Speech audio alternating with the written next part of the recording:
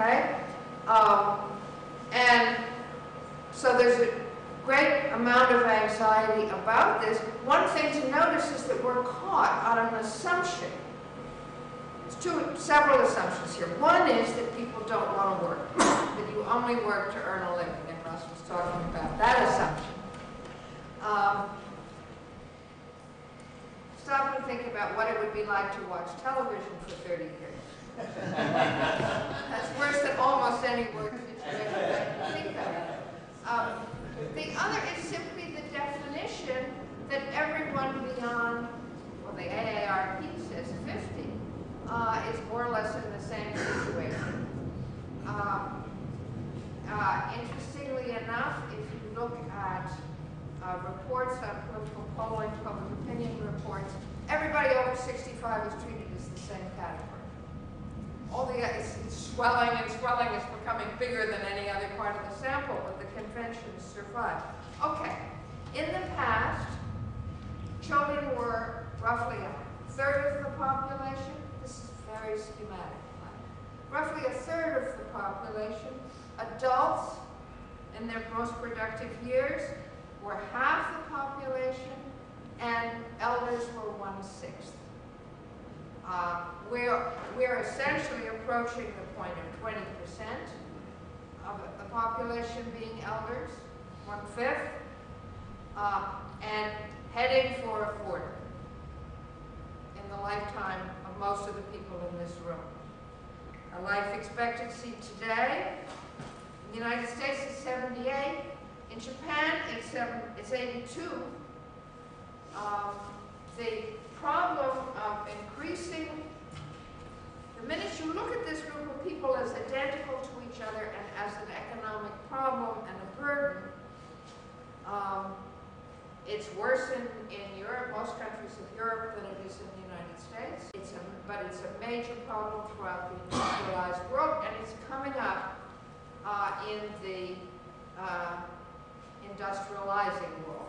Okay, so to me, this looks like a system change. It's as if all the gear ratios of how the generations interlock have been altered. What essentially is happening is that when someone in adulthood one has a child, their parents are in adulthood two. They're not ready to sit down to sit still. Okay? They are starting a new chapter of their own adulthood. Now there's a lot of talk about the sandwich generation because just when people think they're free of responsibilities, oh, the people in adulthood two are looking after their parents. That's the grandparent, great-grandparent generation.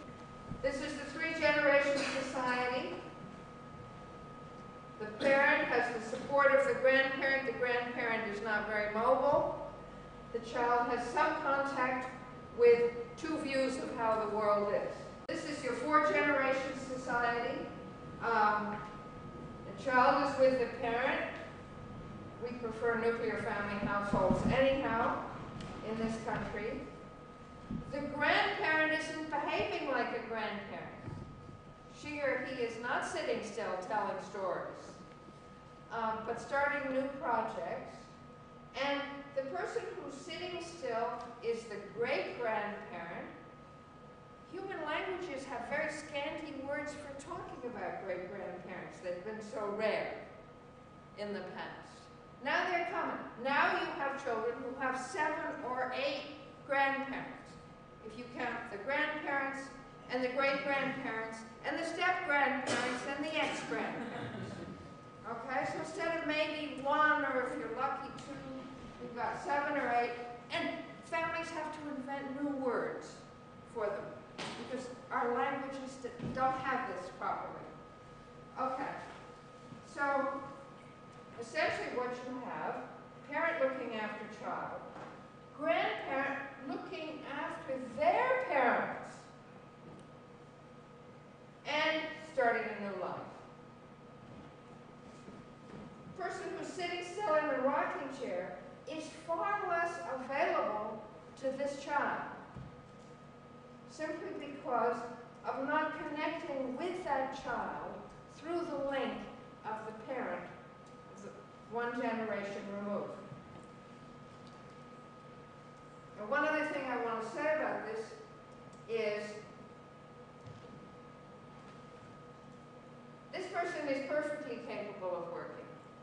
And in many cases is going back to work and being productive where the law allows, which in some countries it does not, uh, or shifting to a different form of work.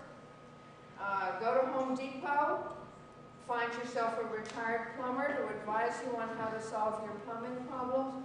A beautiful model for the way to deploy skills.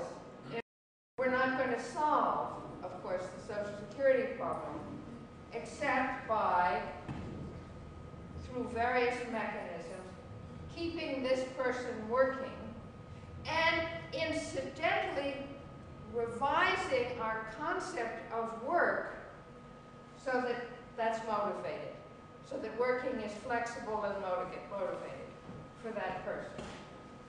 Uh, the other thing that I want to say to you about it is that there is a potential, which to me is very dynamic, potential for social change. When that grandparent is alive with the child. And incidentally, these people running around, uh, getting married, taking new doctoral degrees, they're very dedicated grandparents. It's just they only show up for a few weeks here and there in most cases, uh, with, with great love huge economic opportunities, of course, for business. Um, during the 04 election, uh, I was involved with a group that commissioned questions in two national polls. Political polls never ask people whether they're parents or grandparents. They only ask if they have a minor child in the household. Um, my theory was that maybe as people get older, they look further into. Because when you're in mid-career, you're so busy and involved with next week. So the question we were asking was finding out who was a grandparent and which political issues this affected their views on in terms of the long-term implications for the next generation. So what you have here in both the grandparent and the great-grandparent generation, an extraordinary resource of people who are no longer occupying the position and the system that they were occupying previously, but have the potential for engaging in social change because they imagine a world beyond their lifetime